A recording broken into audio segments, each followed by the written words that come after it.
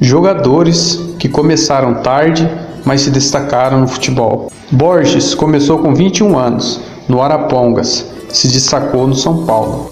O atacante Lee Edson, português naturalizado, começou com 23 anos na equipe de Poções, teve destaque no Corinthians e na seleção de Portugal. O atacante Leandro Damião começou aos 18 anos no Atlético de Ibirama, se destacou no Internacional e na seleção brasileira.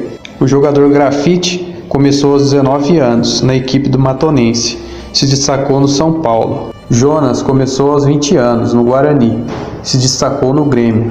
O atacante Fred começou com 20 anos no América Mineiro, se destacou no Cruzeiro, no Fluminense e na seleção brasileira.